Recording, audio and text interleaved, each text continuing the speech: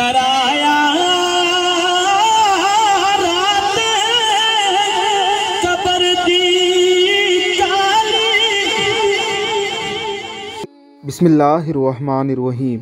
रसूल अकरम सल्लल्लाहु अलैहि वसल्लम ने फरमाया है कि कब्र को एक दिन में सताईस बार से जायद याद किया करो, यानी हर लम्हे, हर घड़ी।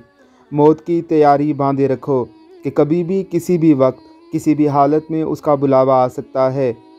सूफिया कराम ने अपने कलाम में मौत को ख़ास मौजू बनाकर ऐसे ऐसे अशार लिखे हैं कि जिन्हें सुनकर इंसान की रूह ही काम जाती है। मेरे नज़र वीडियो में कश्मीर से तल्लक रखने वाले एक बाबा जी बड़ा ही खूबसूरत कलाम पढ़ के लोगों को मौत की तैयारी पर उबार रहे हैं। डराया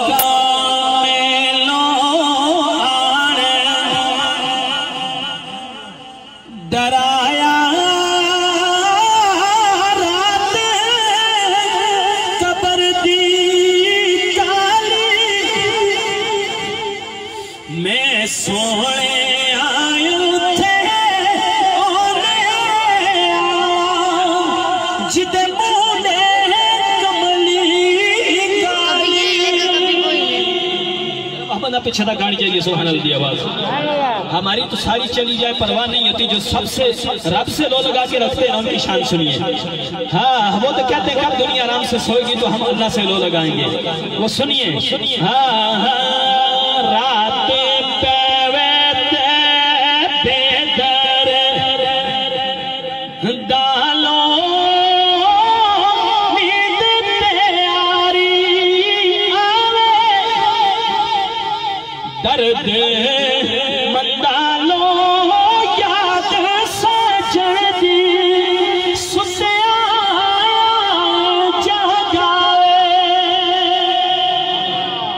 ज़ोर रब से लो लगाते हैं, सुनिए।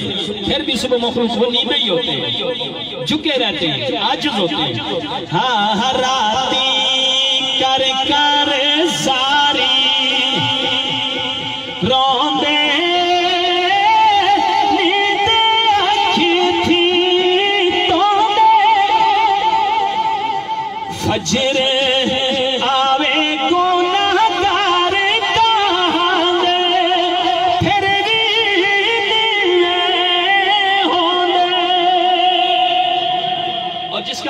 मुर्शिद ना हो ना तो रूमी की क्या दर्श दे रहे राधे राधे, हर कोई आखे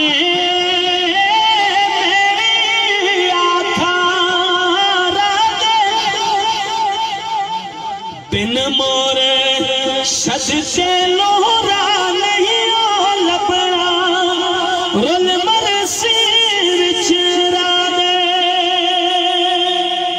बाप की शान में सुनिए।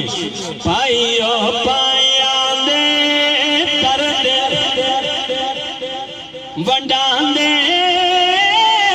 पाया पाया किया पावा।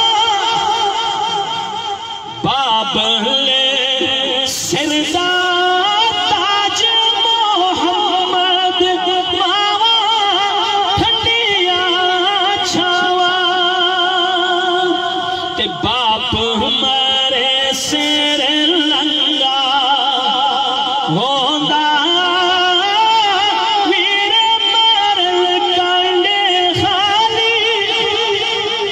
मावा।